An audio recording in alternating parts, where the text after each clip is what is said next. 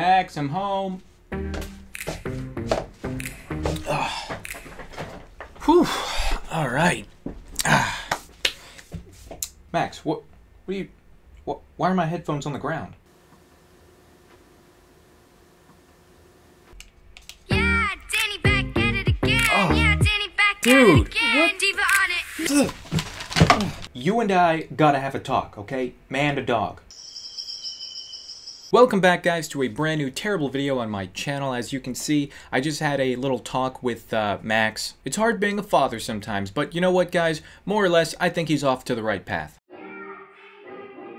As you guys can see, I am repping the damn hat. And for that matter, guys, we actually finally have damn hat merchandise. And aside from damn hats, we also have Stop It, Get Some Help hats. You guys have been asking for those for a while as well. Shout out to Boyoung for modeling for me. She did a great job. Whether you want a ball cap or you want a snapback, guys, they're all available in the merch store finally for a limited time, so get them while you can. Anyways, today's video, I, I think this hat is appropriate because this is pretty much the expression that I'm gonna have all video. Do you remember that app that was super, super popular like a year or two ago called Musically? This guy, wow. He just has fuckboy written all over him. Yeah, I know. It, it's pretty much not really that popular. Nobody really uses it. Nobody cares about it anymore. But guys, you know what? Musically is basically just another version of Vine, okay? Lots of really weird people that got really big there, but then the, the app died and then they made it over and migrated over to YouTube. Musically is the same thing, except well, it's actually worse in some ways. This is a deleted music video called Marilyn Monroe, and it's by an ex-Musically star called Danielle Cohn. Now, I'm going to try to not really talk too much about uh, Danielle, and more or less kind of just critique this music video that was put together by her management, but I guess for obvious uh, public reasons. They have now deleted it. But I just want to watch it with you guys so that you can see where music and where musical talent and ability and showcasing art is going in the future. I mean, this is 2018 and this is what people are trying to sell. Now, I don't claim to be a musical artist, nor do I claim to be a musical critic, but I think at least being a YouTuber, I can critique another YouTuber's music video. Like, I mean, come on, is that fair? I mean, we wouldn't even be watching this if it weren't for Max, so I blame you, dude. Alright, without further ado, guys, let's take a look at the clip.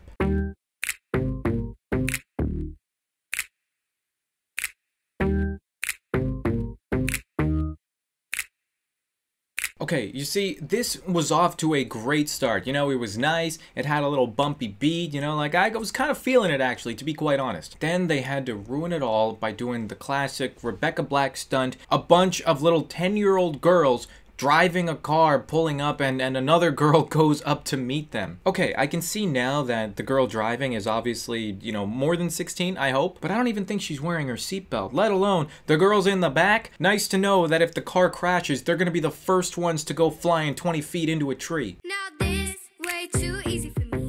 All the boys in the block like Sesame Street. Yeah, Danny back at it again. Yeah, Danny back at it again. Diva on it. No boys allowed. Did she just compare these boys on the block to Sesame Street? Okay, I, I will admit, that was a pretty funny line. All the boys in the block like Sesame Street. I really love this kid in the red shirt. I, I like his I like his shirt. It's like, you know, it's like a, a prey kind of shirt symbol. It's like, you know, like it's all gonna be okay. And then he extends both arms because this dude is splouting up this other kid in the hat and he, and he wants a turn, you know? He wants to get splout up too. He's not only putting one hand out, he's putting two hands out. I don't know if he's going for a hug or a handshake or both, apparently.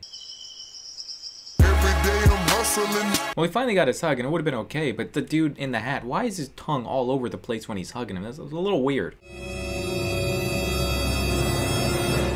Are you watching this? Huh? You you were listening to this first, okay? So you, you gotta watch too, okay? I swear, you're gonna have nightmares about this, and you're gonna blame me, okay? But hey, it's not my fault. Yeah, Danny back at it again.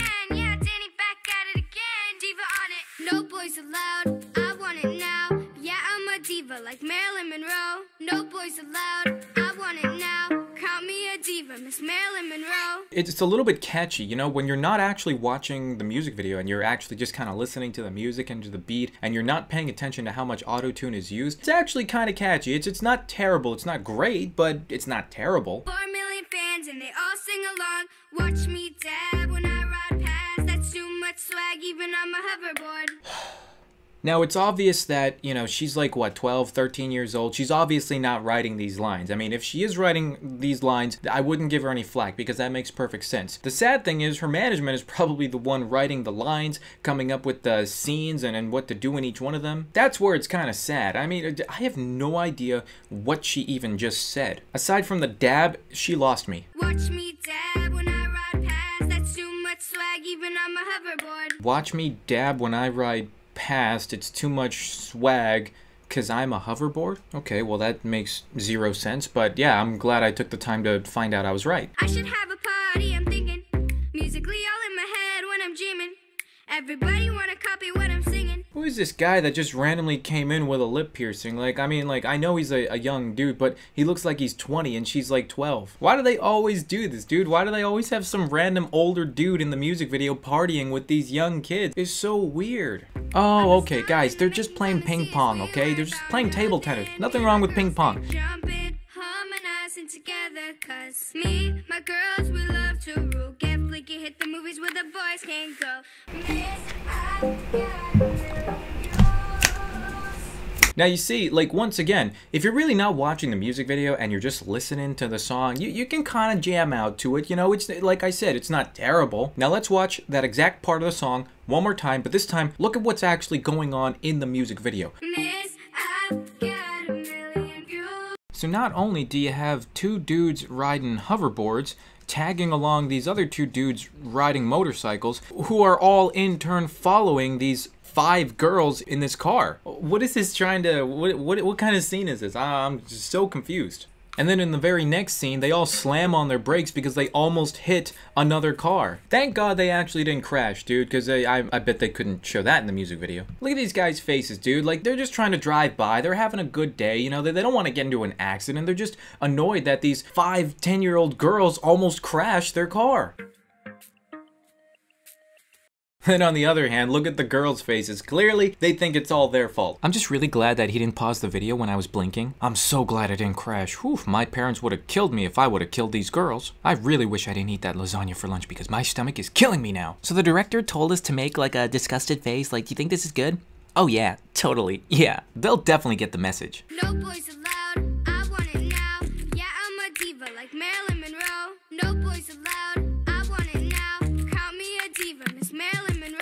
Now, once again, I, I really can't give the girl too much flack because, like I said, I don't think she came up with the lyrics or, or the cinematography or the scenes or the themes or anything. But I mean, why are they trying to compare her to Marilyn Monroe? I mean, if Marilyn Monroe was alive, I don't think she'd be happy. I mean, if you guys don't know who Marilyn Monroe is, she was one of the most popular sex symbols of the 1950s. Ooh, do you feel the breeze from the subway? Isn't it delicious? She was literally famous for changing the way people think about, you know, that era's attitudes towards sexuality. Or at least that's what it says on Wikipedia. But in all seriousness, guys, I, I, I mean, like, I get it's just like a fun, family friendly, well, song. But I just don't see, like, how these underlying messages, you know, like, fit in with these little 10 year old girls. Comparing an adolescent child to one of the most popular sex symbols of all time is just a little bit weird to me. I think what they're going for is, you know, like, women power and, you know, like, girl power, girls unite, no boys allowed. I just think they kind of could have taken a different approach to it. I'm, I don't know, it's just me. So fab, How much do you think this guy got paid to just sit there and play ping pong for an hour and make a goofy face? I swear, dude, life is unfair. friends. Y'all need help flexing in here. You are now tuned in to the song of the year. Millie Rock Juju, it's a habit. It's way too easy like a beauty pageant. Now, I don't know about you guys, but this scene here kind of reminds me of something else. be Rebecca Black. So chillin' in the front side, in the backseat, I'm driving, cruising. Now, I get it. This guy right here, he's probably like the producer or something, or he's probably like one of the managers or bosses or something. But why do people always feel the need to, to put themselves as a manager or producer? Like, why do they want to put themselves in this little girl's music video? Tuned in to the song of the year. let alone chasing after her on electric scooters. I mean, it's just weird, dude. If you want to be proud and say, like, hey, I made this amazing song, then just put your name on the credits. Why do you have to make a cameo appearance of you chasing the little girl on an electric scooter? It's just really weird, dude. Like a beauty pageant. Do what you please, do what you want. Miss Scooty Oh, yes. Everybody's favorite character, the Tongue Kid, is back. Dude, I, I, I just think this guy really loves sticking out his tongue. I mean, he's kind of reminds me of Max in a way. But yeah, bro, uh, just for some context, when you grow up, maybe don't stick your tongue out at people too, too much, okay? the older you get, the more trouble you'll probably be in. Yeah, Danny back at it again. Yeah, Danny back at it again. No boys allowed. I want it now. Yeah, I'm a diva like Marilyn Monroe. Yeah, I'm a diva, Miss Marilyn Monroe.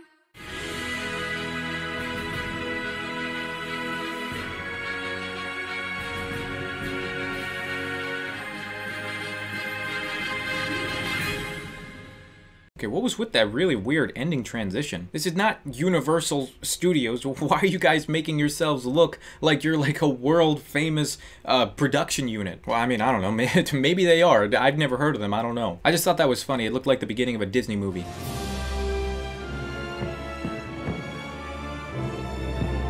But yeah, guys, that'll about do it for the video. I think overall the message they were trying to say was, you know, kind of positive, like, you know, girl power, girls unite. We don't need boys, ha ha ha. You know, it's just, you know, girls having fun. I just don't know why they made the theme of the song, the name, even the girls' makeup all, you know, in sync with Marilyn Monroe, who is not really famous for, uh, childish things. But on the other hand, I do get and I do understand how they could see her as, you know, a popular symbol for women, you know, uprising. So I, I guess I do get it in a way. Just think they could have done it a little bit differently. If you guys enjoyed this video, be sure to leave a like, hit that subscribe button if you're new. And guys, be sure to click the link in the description if you want to get your own damn hat because they're only available for a limited time. As always, thank you guys so much for watching and until next time, I will see you guys, if I make it, in the next video.